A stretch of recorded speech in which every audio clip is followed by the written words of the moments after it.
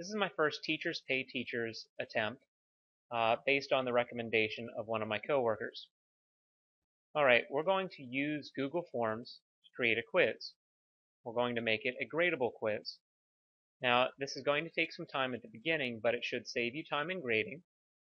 It will also be useful in creating data-driven instruction, even though I know most teachers have always been data-driven instructors. We're going to make a simple Google form, which is going to feature multiple choice, and the hope is that while we do this, it will improve your Microsoft Excel or spreadsheet skills. So I have my Google Documents open. I've already got a Teachers Pay Teachers uh, Forms folder already created. You can see that I've got a starred template multiple choice quiz. We're going to try and replicate this. So we're going to go ahead and go up to Create. To select Form. I'm just going to call this Test Run. I like to start all of my first questions with last name make this a required question. The second one I like to make first name.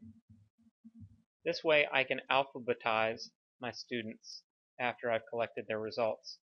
Again, make it a required question. After that, I like to know which period they're in. That way I can sort them. I make this a multiple choice question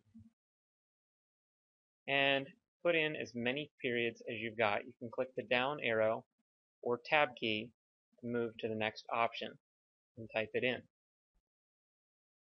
I don't need 8 and go ahead and click the X. Make this a required question. This helps again with sorting. Now it's time for the actual quiz. I'm going to make more multiple choice questions. I was going to call them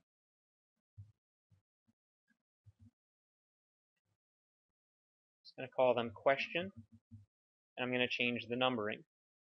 They're going to be multiple choice, and I'm going to make my choices so that there are five choices. And this is a template that we are creating. The beauty of the template is we don't care what the answers are for right now. That way we can just duplicate change the question number so we know which one it is. Duplicate again. And we keep doing this until we've got 10 questions.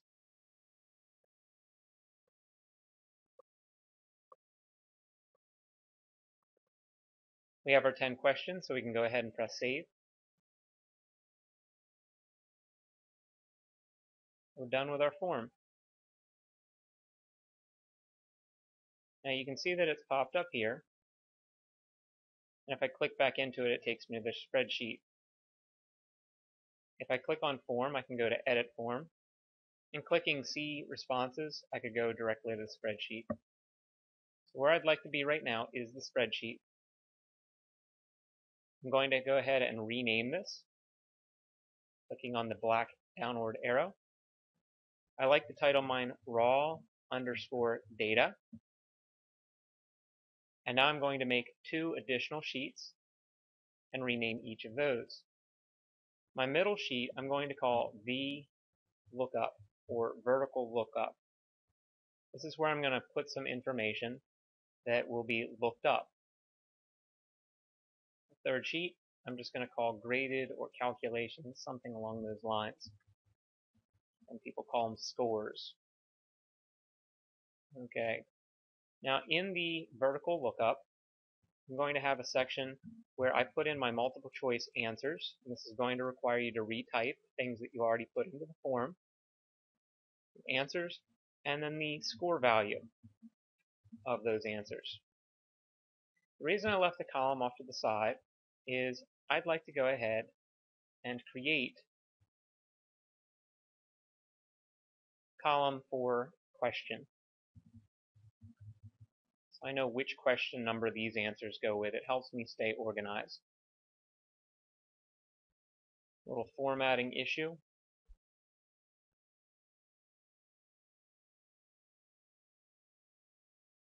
And I occasionally use bolds in order to keep things, again, organized for myself. Now you can go ahead and grab the corner, see how the little target comes up, the little plus sign, and drag down. Now, every five, it should drop a number, and that number is going to be one because no pattern has been established.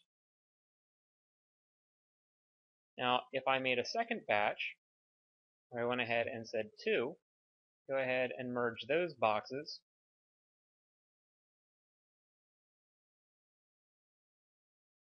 Can then drag it down, and I should get a continuous pattern counting up to 10.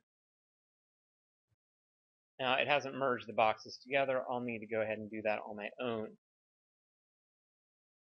All the other formatting is in place.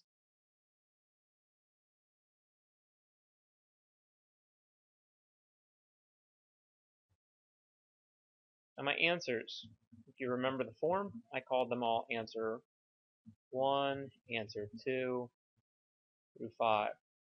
And that pattern thing, go ahead and do that. Got a pattern started, counting by ones. Drag down, got all those. Now I'm going to control copy and paste it all these ones because they were all the same. I really just want to show you that the form will work and do what it's supposed to do.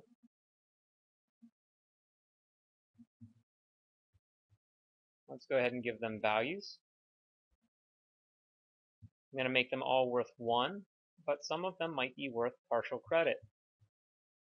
So all of my wrong answers are listed as a 0. My correct answer is listed as a 1. My partial answer is listed as a half a point. You can put in whatever values you'd like. Just make sure you selected the correct thing.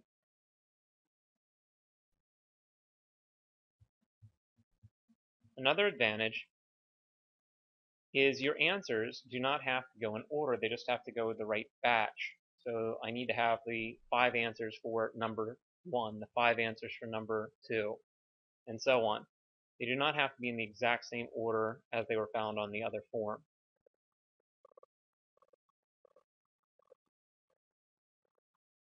Every one of them had a maximum value of 1. I'm going to go ahead and make another reference cell.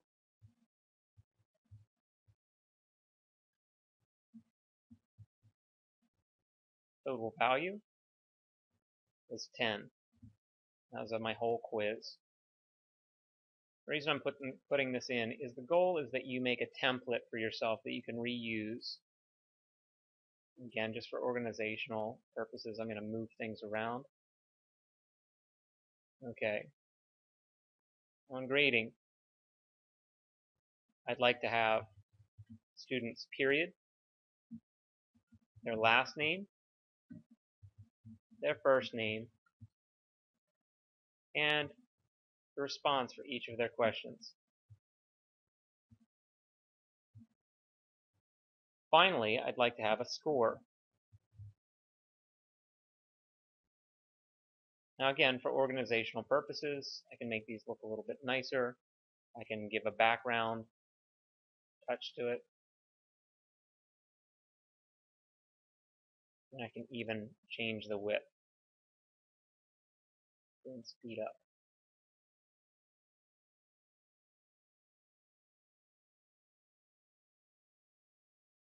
Okay, let's take care of the easy one first. We're going to take care of the score.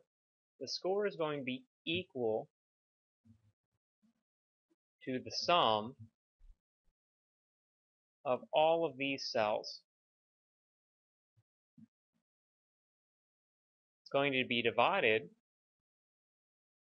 by the total value for the quiz. I want to make sure that this doesn't change. So I'm going to use a dollar sign. That locks the column. A dollar sign in front of the number. That locks the row. So it has to go to this E2 cell regardless of dragging and dropping or whatever else I might do. Now currently there are no scores for any of the responses, so this student would have a zero. I'd like to do one additional thing. I'd like to format the number because this is a score, I'm going to make it a percentage. Now I need to go ahead and show you how to get the multiple choice quiz to grade itself. Every one of these, 1 through 10, is going to be an equal something. All of them are going to use a V or vertical lookup technique that can be found in Excel. As you type it in, you can see that Google provides information. Notice it says search criterion, the array, the index, and the sort order. Well, we're making this very, very simple. So first we need to look up off of our raw data spreadsheet the answer to question one. Once done, we put a comma. We now need to compare that answer to answers provided in our vertical lookup spreadsheet, which we can then highlight now because this should not change for any of the students that we will have, we're going to go ahead and lock the column and the row for that whole array. Once done, we want to say where the score value come from. And if you look at it, it's coming from the second column, column B, column C. The second column is C. We don't care about a sort order, and we're also looking for an exact match. So we're going to type the word false for that very last section. Close the parenthesis, press enter. Now no one has provided a score, so you see two dashes, two hyphens. I'm going to save some of my work, some of my effort, and copy this to the next cell. The things I need to change, I need to change where, I need to change what answer it is going to look at. It's going to look at column F this time.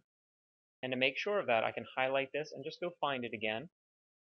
I'd like to use column F. Notice it already has the green dashed line around it. You can click on it to show you that it's going to go there. So that's good. I highlight the vertical lookup. I'm going to go to VLOOKUP, spreadsheet down here, and select that batch. Now, I had a little hiccup Notice that it made two boxes. Well, that can happen. Just going to make a little change. Goes out to the 11th column, not stopping at the 10th and redoing itself. Checks the second value, and we're looking for an exact match, so we type in false. Again, we want to reference these columns over and over and over again, these particular cells over and over and over again. So we're going to lock them out and guarantee that we always search those ones. Since these all have the basic same look, I'm going to go ahead and speed through it and fix columns F through M to match up with this basic format.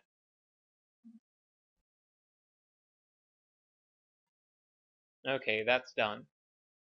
All right, let's go test out our form. We're going to go to a live form. Student's name is Test, first name is Test, and he's from part of period 1. Going to the first question. Second, third, in some that I know are not equal to 1.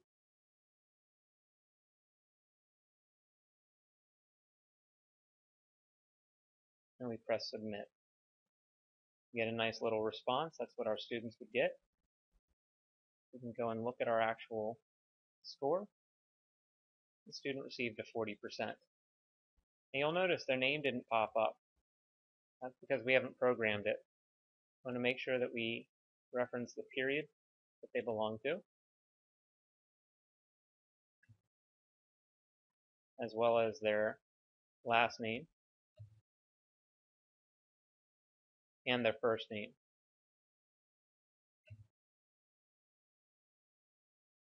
If we want this to occur for additional students to follow this basic path, and remember I use those dollar signs, we'll highlight everything and just drag down. And now it's ready to go for all of them.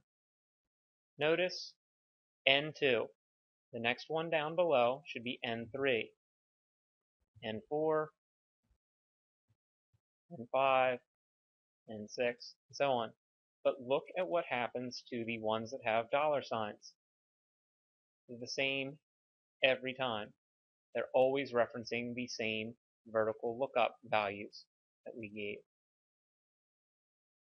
Hopefully this has been helpful. If you'd like to buy this pre-done, you can go ahead and purchase it. How that will work is I will share the form with you. Currently, I'm the only one that has access to it, so if you'd like it, I'll go ahead and share it with you after you purchase it, and then you'll need to go ahead and go to File and make a copy so that you won't damage this template. After you've made the copy, you can go ahead and go to Form and edit the form include anything that you need. Just remember that after you've saved your responses and saved your changes, you'll need to go back to the vertical lookup and change the score and the answers for each of these. If I change this to the word Google Form, that's not a response that someone could have. So when I check, you see that it's not an applicable response. They did not find the correct value, therefore it couldn't look it up. You need to make sure that your responses match that of your actual form. Thanks, I hope you learned, and I hope you decide to use me for some of your Google form or technical needs.